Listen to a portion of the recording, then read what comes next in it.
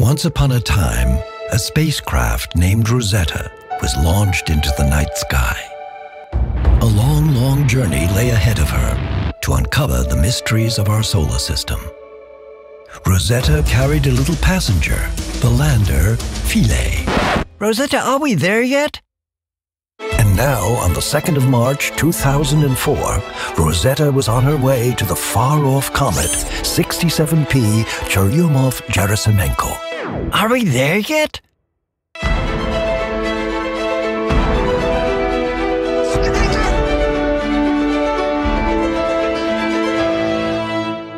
Are we there yet? Are we there yet? Rosetta, are?